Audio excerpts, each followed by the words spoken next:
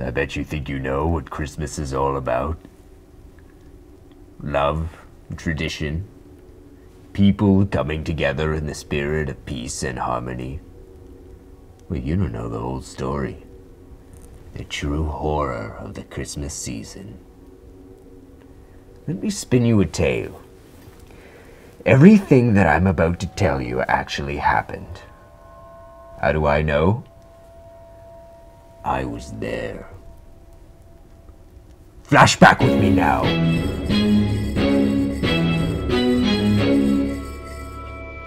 Christmas Eve, 1995.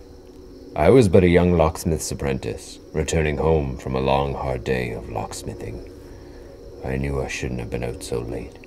What with the Christmas Eve killer on the loose again?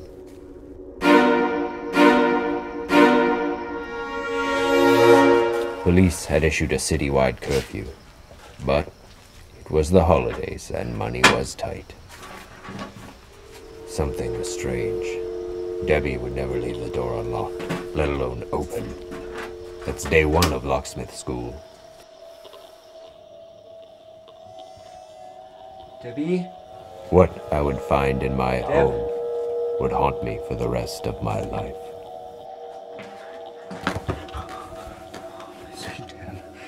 My wife's corpse had been tossed aside, like Christmas wrapping paper. But there was no time to grieve.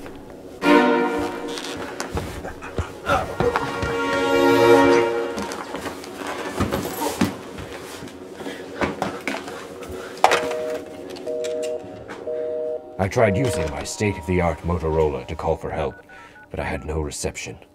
Typical.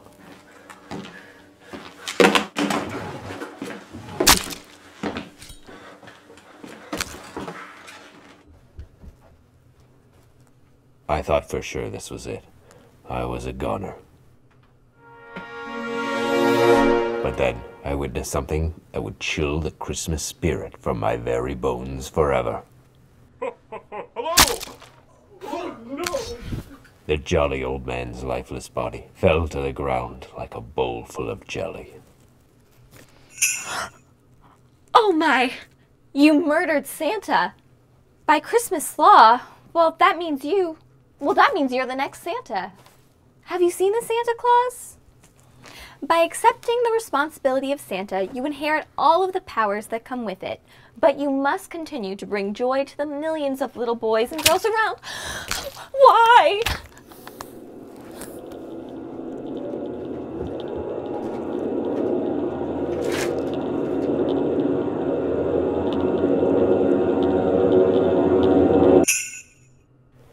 I rushed to Santa's aid, but his wounds were too grievous. There was nothing I could do but hold him dearly. I can't really blame him because he'd just been stabbed, but he mixed up my Christmas gift with my teenage neighbor's gift. It was kind of a weird moment, but I think I played it off well. I will never forget his dying words to me. Dakota Flannery, you've been a good boy, but know that with great power that was all I needed to hear. I knew what he wanted me to do. I was to hunt down the new Santa and take my place on his throne. I spent years researching, traveling to the furthest ends of the world. I learned all there was to know about Santa's power and his weaknesses. He is damn near invincible, except for one night of the year. Happy, happy, happy. You're always so damn happy. Which brings us to today. It's been a long time, old friend. I will have my revenge.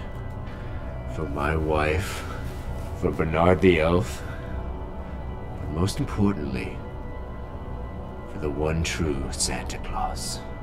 I really have no idea what you're talking about. I've never seen you before. I work at the mall! That's what they all say. You're out of your mind! But I will have your power. You don't have to do this. I made a promise.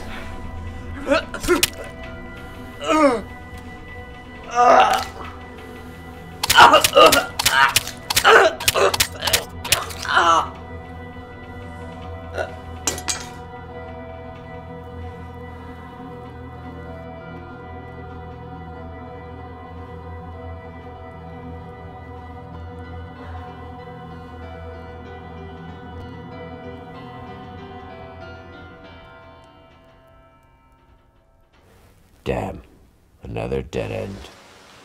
He wasn't the first Santa I've killed, and he certainly won't be the last, for my quest is never ending. My name is Dakota Flannery, and I will not stop until every last Santa is dead. Thank you.